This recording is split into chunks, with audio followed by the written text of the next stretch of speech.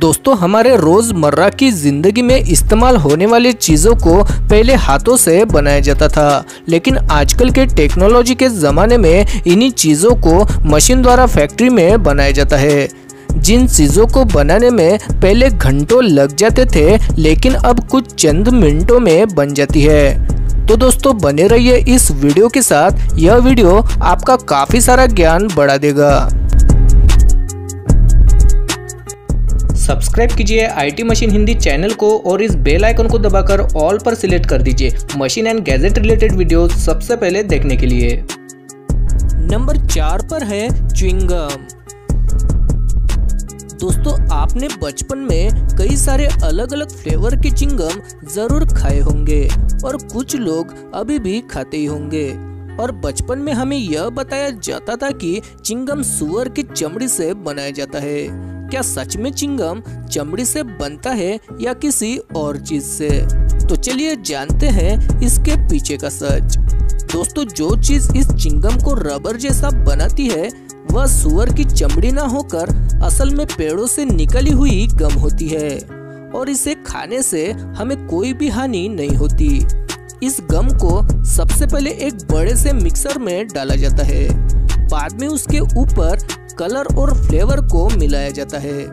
और जैसे ही यह सारी चीज़ें मिक्स होने लगती है, वैसे ही इसके ऊपर से ग्लूकोज डाला जाता है, जिसकी वजह से जब हम चिंगम चबाते हैं, तब उसमें से मीठी टेस्ट आती है।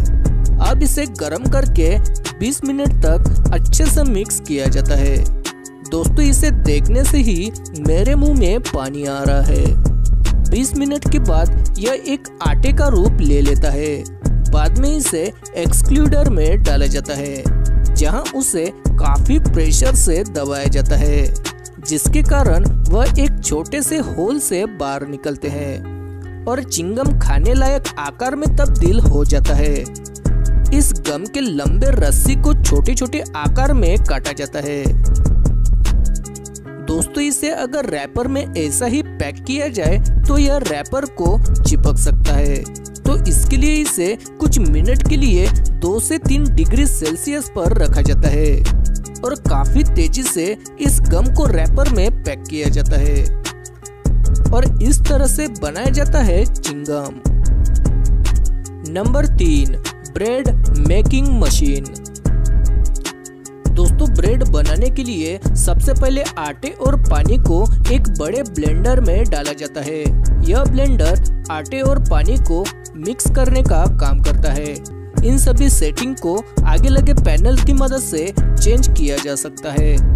आटा अच्छे से मिक्स होने के बाद उसे दूसरे मशीन में डाला जाता है, जिसका काम आटे को गोल गोल घुमाते हुए आगे की तरफ़ भेज देती है। जहाँ उसके ऊपर सूखा आटा डाला जाता है, ताकि यह मशीन पर ना चिपके। अब इन आटे को कन्वेयर के ज़रिए आगे दूसरी मशीन में भेजा जाता है। यह मशीन इनके अलग अलग शेप बनाकर नीचे बसे कंटेनर में डाल देती है, जहाँ उनका शेप लंबा हो जाता है। अब इन्हें काफ़ी बड़े कन्वेयर पर ले जाया जाता है, जहाँ सबसे पहले इसका टेम्परेचर घटाया जाता है। अब इनके ऊपर हल्का सा ड्राई फ्रूट डाला जाता है।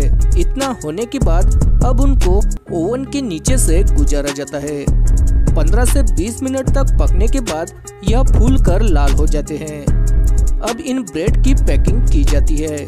अब इन्हें बेचने के लिए मार्केट में भेज दिया जाता है। नंबर दो पर है स्नीकर्स बार। दोस्तों, स्नीकर बार पॉपुलर बार में से एक है। जो कि बहुत सारे नट से भरा होता है और बहुत से लोग इसे बड़े मज़े से खाते हैं। और यह मेरा फेवरेट भी है। दोस्तों स्निकर्स को बनाने के लिए सबसे पहले एक बड़े से मिक्सर में कोको मिल्क और शुगर को मिक्स करके उसका एक चॉकलेटी मिक्सचर बनाया जाता है। और वहीं दूसरी मशीन में व्हाइट एग शुगर और सॉल्ट डालकर उसे मिक्स करते हैं। उसके बाद उसमें पीनट बटर को ऐड करते हैं और उसे भी अच्छे से मिक्स किया जाता है। मिक्स होने के बाद उसके ऊपर से ग्राइंड किए गए पीनट्स के बारीक क्रश को डाला जाता है और इसी तरीके से स्निकर में इस्तेमाल होने वाले मटेरियल को बनाया जाता है। उसके बाद उन्हें एक कटिंग मशीन पर ले जाया जाता है, जहाँ उन्हें स्निकर्स के आकार में कट किया जाता है। इतना हो जाने के बाद उन्हें कन्वेयर के ज़रिए आगे ओवन के नीचे से गुजारा जाता है। और अच्छी तरीके से पक जाने के बाद स्नीकर पूरी तरीके से तैयार हो जाता है और आखिर में उन्हें रैपर में पैक किया जाता है और मार्केट में बेचने के लिए भेज दिया जाता है। नंबर एक stick ice cream making machine दोस्तों स्टिक आइसक्रीम बनाने के लिए सबसे पहले उसका फ्लेवर डिसाइड किया जाता है और उसका लिक्विड बनाया जाता है। यह जो आप वीडियो में देख रहे हैं, यह ऑरेंज फ्लेवर है। इस लिक्विड को फिर एक कंटेनर में डाला जाता है, जिसके नीचे एक फ्रीजर लगा होता है। जैसे जैसे यह प्लेटफॉर्म आगे बढ़ता है वैसे वैसे लिक्विड उसमें गिरता जाता है और नीचे से वह फ्रीज होना शुरू कर देता है। थोड़ा ठंडा होने के बाद उसके ऊपर से लकड़ी का स्टिक लगाया जाता है। जब वह पूरा बर्फ़ की तरह हो जाता है तो दूसरा मशीन उसी स्टिक को पकड़कर उसे बाहर निकालता है।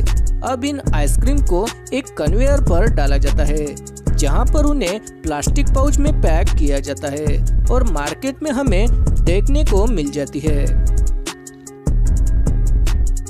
दोस्तों, आज के लिए बस इतना ही। अगर ये इन्फॉर्मेशन आपको यूजफुल लगी तो इस वीडियो को एक लाइक कर देना और इस वीडियो को अपने दोस्तों को दिखाने के लिए फेसबुक और व्हाट्सएप पर शेयर भी कर देना। अगर इस वीडियो को आप पहली बार देख रहे हो तो आईटी मशीन हिंदी चैनल को सब्सक्राइब भी कर लेना, क्योंकि ऐसे ही वीडियोस मैं लाता रहता हूँ। तो मिलता हूँ आपको अगली वीडियो में। तब तक के लिए बाय